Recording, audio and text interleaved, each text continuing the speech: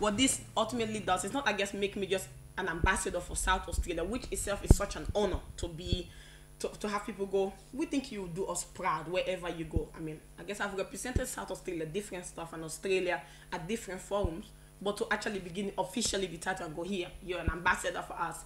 That is, is amazing, but I guess it's the opportunities that come with being an ambassador and being able to talk about issues that people, of course, usually don't want to talk about. I see it as a door opener, and I hope I can take all the opportunities that come my way and really use them to continue doing my advocacy because that's what I am most and it's my number one priority advocacy. And this gives me the opportunity to do that at a larger scale. And I'm going to grab it with two hands by the horn by the bull whatever they say. I want to be more than myself. I think that's what it comes down to. I really don't want my existence to be all about me and my problems and the things I go to my whole life goal and life ambition is to make a difference my little baby at the moment is called Chocolate Magazine, which is a magazine for African young women.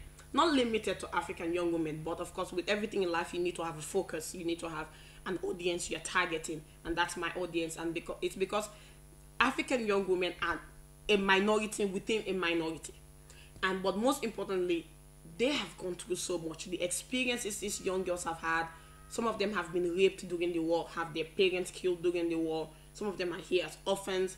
Some of them are here and they're going through domestic violence situations. Some of them are here, they're teen, you know, parents, they have children themselves.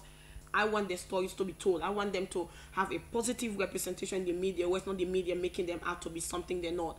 Because they're resilient, strong, independent women who have just gone through bad things that were not, it's not their fault. But now they have an opportunity, and I want them to grab every single one of those opportunities. That's what Chocolate Magazine means. It's for me giving back to my community something tangible, something practical, most of all, something we're missing and lacking. That's what it means.